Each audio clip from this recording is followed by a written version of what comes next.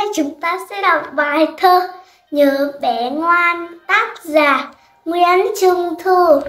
Đi xa bố nhớ bé mình, Đến bàn cặp cụi tái sinh chép bài. Mải mê làm toán miệt mài, Khó ghê mặt chẳng chịu sai bao giờ. Mải mê tập vẽ đọc thơ, Hát ru em ngủ ầu ở ngọt ngào. Xa còn bố nhớ biết bao, Nhưng mà chỉ nhớ việc nào bé ngoan.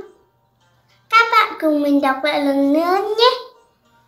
Đi xa bố nhớ bé mình, Bên bàn cặp cụi Tay sinh chép bài, Bạn mối làm toán miệt mài, Khó ghế mặt chẳng chịu sái bao giờ, Mải mê tập vẽ đọc thơ dù em ngủ ầu ở ngọt ngào. Dạ Xa con bố nhớ biết bao Nhưng mà chỉ nhớ việc nào bé ngoan. Chúng mình phải là những cô bé, cậu bé thật thích khám phá Như vậy là các con nghe của bố mẹ nhé. Mải mê tập vẽ đọc thơ Khó ghê. À không Mải mê tập vẽ đọc thơ.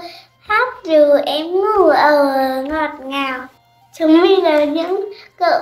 Chúng mình phải là những cậu bé cậu bé thả thích khám phá nghịch ngợm. Nhưng phải là các con ngoan cường bố mẹ nhé. Tập mải mê tập vẽ đọc thơ, hát du em ngủ ống ơ ngọt ngào. Hẹn gặp lại các bạn trong kim bé thơ nhé bye bye.